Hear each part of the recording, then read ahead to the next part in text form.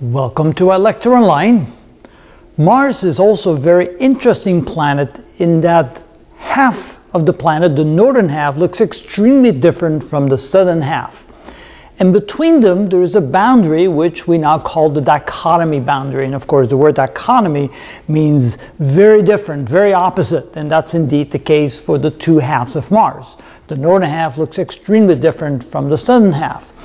And if you take a look at the top topographical map of Mars, you can see that not only do they look different, they also have a very different altitude. There's a much lower altitude associated with the northern half and a much higher mountainous altitude, except for the two huge craters there.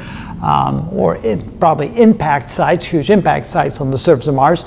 The southern half has a lot higher uh, altitude and is much more related to a mountainous kind of environment.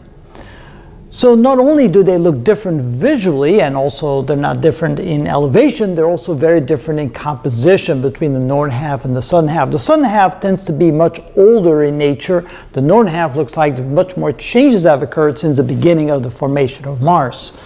So we used the Mars Global Surveyor, which mapped the entire surface of Mars between 1997 and 2006. That's almost for a full decade. Not only did we get beautiful visual pictures of the surface of Mars to great detail and great resolution, we also used uh, what we call the thermal emission spectrometer, which was able to analyze the composition of the surface on a global scale. And so what we found in the northern half, we call that the Noachian, the early geological period of Mars because it really essentially has not changed much compared to probably what it looked like billions of years ago. And we find that it's mostly unaltered pleo, uh, play, uh, plagioclase and clinopyroxene rich basalts.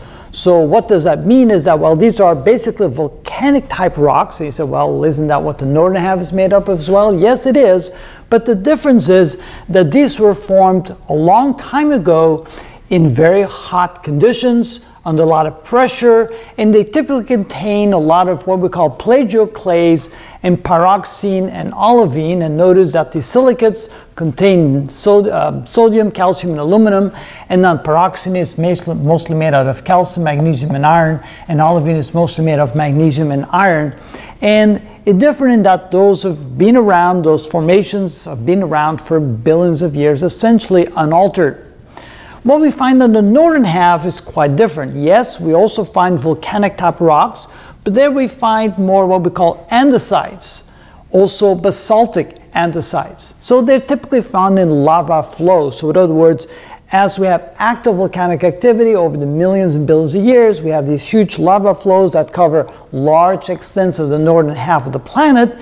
And those were formed later, billions of years later after the formation of Mars. And so that volcanic rock is of what we call of intermediate composition, somewhere between the pure basalts that were formed many billions of years ago and rhyolite, which is basically the broken debris stuff that's on the surface of the planet. It tends to be fine grained. The colors tend to be from light to dark gray. So you can see it, it, it looks a little bit like, um, hmm, what would you call, um, well, the kind of minerals where you have a lot of speckles inside the rock. So when you open up and look on the inside.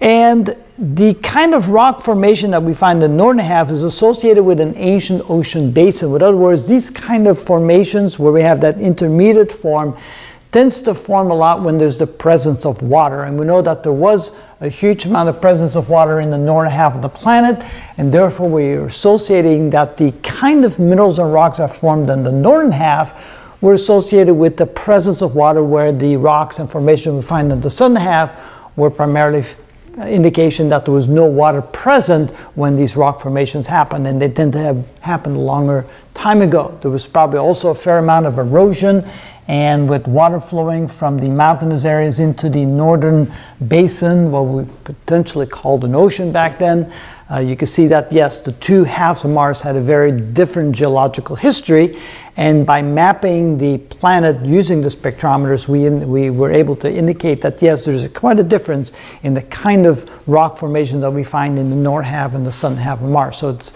it's really what we would call a dichotomy, very different halves of the planet Mars, and that's why we called it the dichotomy boundary to indicate that yes, there was a big difference between the two halves of Mars, and that is what we mean by the geological history and the dichotomy of the planet Mars.